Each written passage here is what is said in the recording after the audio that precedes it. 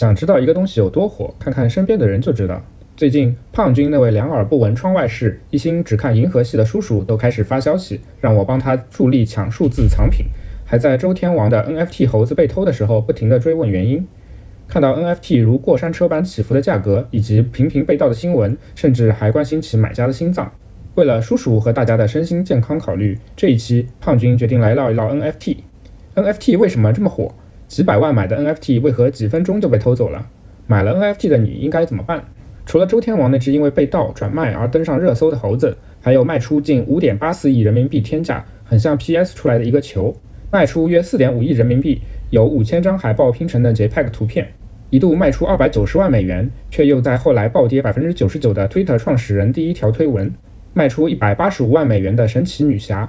币圈以黑红著称的某大佬花了一千零五十万美元购买的第一个 NFT 头像，这些引发全网追捧、令人匪夷所思的 NFT 数字资产，其实在大约三十年前就已经有了雏形。早在一九九三年，资深密码学专家 Hal Finney 就提出了加密交易卡的概念，可以被视为 NFT 概念的前身。二零一二年，第一个类似 NFT 的通证 Colored Coin 诞生，由小面额的比特币组成，最小单位为一聪。二零一四年，新创立的 Counterparty 平台上出现了用热门梗图悲伤蛙做成的应用，开始为 NFT 的出现起到了推动作用，一时激起蛙声一片。二零一七年，以太坊上出现了一批极具朋克精神的像素头像，这个名为 CryptoPunks 的项目将图像作为加密资产带入到了加密货币领域里，标志着真正意义上的第一个 NFT 项目的诞生。不久后，加密猫 CryptoKitties 游戏风靡全网，NFT 的概念得以正式提出并走入大众视野。因为各行各业，尤其是艺术领域天马行空的想象力，而成为网红数字资产。二零二一年，全球 NFT 交易超过二百三十亿美元，成为 NFT 元年。艺术界几乎人手一幅 NFT 作品，普通人也从加密猫像素头像和周杰伦的猴子中窥得 NFT 的一角。在今天，如果你没听说过 NFT，你将会被开除网籍。很多人以为 NFT 数字资产能这么火、卖这么贵，都是炒作以及本就虚无缥缈的艺术二字造成的。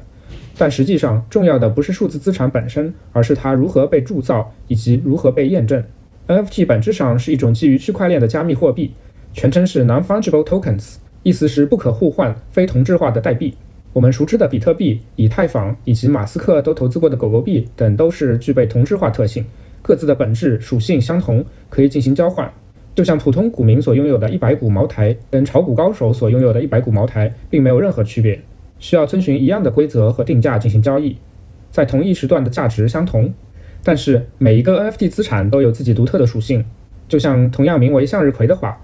梵高的向日葵与其他人画的向日葵与 AI 生成的向日葵相比，价值和本质都是不一样的，不能互相替代。文字、图片、视频在被铸造成 NFT 的时候，需要通过加密来生成一段独一无二的认证代码。这就相当于原作者为作品盖了个章。虽然一幅画、一张表情包在互联网上可以有无数份拷贝，但有原作者盖章的 NFT 只有一份。这个章就是数字世界的防伪标志，如同房子的房产证、产品的生产编号，体现着自身的唯一性和稀缺性。举个例子，如果孙悟空被铸造成 NFT 了，唐僧就不会因为真假美猴王而头疼。就算六耳猕猴是孙悟空的分身，也能通过章去辨别真伪。拥有一件 NFT 不仅仅是获得这件物品。同时，也得到这件物品的所属权，包括拥有和保留权、出售和出借权、特许使用权、重复使用权等。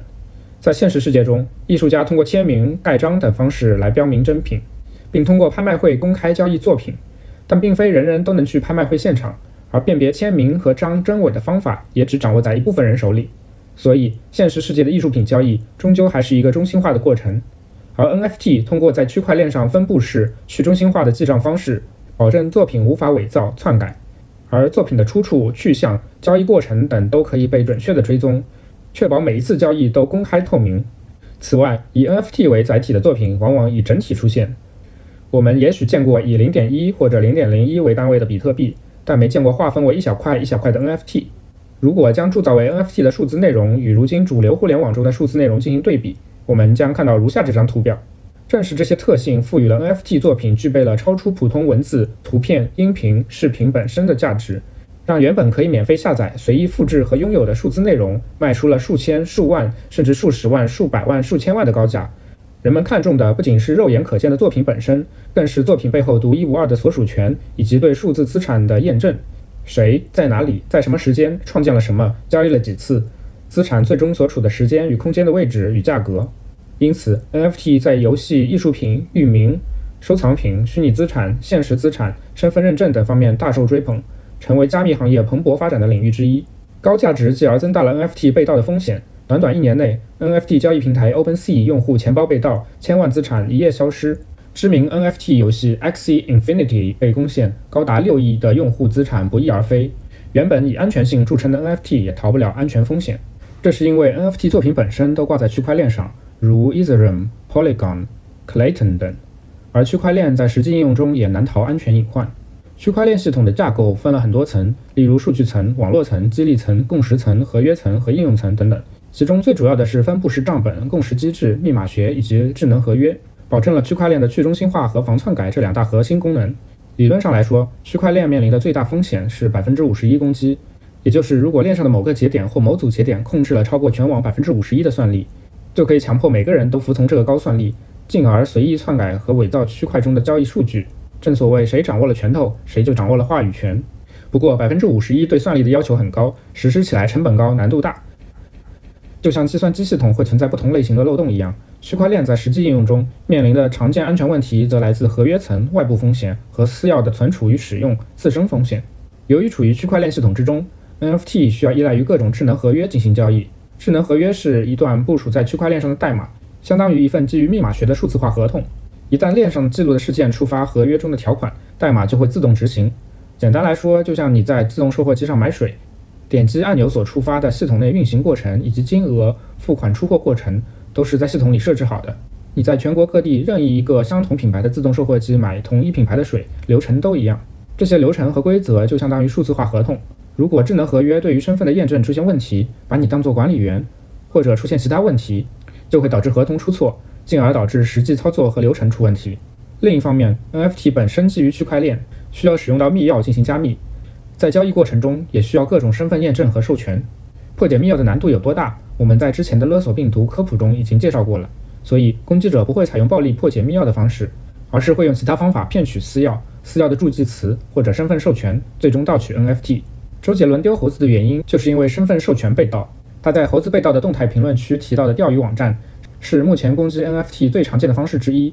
之所以给攻击加引号，是因为这个过程并非直接利用了 NFT 或者区块链技术的漏洞，而是利用了社交平台的漏洞以及人性的弱点。他的朋友轻易信任了钓鱼链接，被骗走身份授权，导致了猴子被偷走。今年二月份，全球最大的数字藏品市场 OpenSea 合约升级时，攻击者也趁机发起了钓鱼攻击。骗取了大量用户的钱包授权，据说造成的损失达到了二亿美元。此外，由于交易价格高昂，市场处于发展初期，并不稳定。除了钓鱼攻击之外，NFT 还吸引到了诈骗、非法集资、传销、空头骗局等。在这个新兴的前沿市场里，传统朴素的攻击与骗术依旧大行其道。针对这些安全风险，要如何防范呢？技术的交给技术，意识的留给意识。智能合约中潜藏的漏洞，需要安全研究者的发现与修复。而想要对抗钓鱼诈骗，还需要提高安全意识，例如保护好自己的私钥，不向其他渠道泄露；收到邮件、消息、链接等，需要仔细查看、对比，不轻易点击；安装必要的防护软件，关注并及时处理异常信息等。当然，最重要的是时刻牢记 NFT 有风险，入局需谨慎。就在周天王的无聊猿被盗后不到一个月，无聊猿的官方 ins 被黑，导致用户损失数百万美元。NFT 每被盗一次，就可能有一个无聊猿颠沛流离。没有买卖就没有伤害。二零二二年，NFT 的泡沫已经初见破灭，一些 NFT 作品降价缩水，疯狂的市场开始冷静。NFT 也如同其他加密货币一样，走到了昙花一现或者持续坚挺的命运十字路口。后续将会如何发展，还需要时间和科学的检验。概念层出不穷，市场变幻莫测，科学和技术才是永远的基石。如果你正在研究区块链安全，或者对这一领域有一些创新的想法，欢迎报名参加今年的启动大赛，与胖军深入聊一聊。在线唠嗑，我们下期见。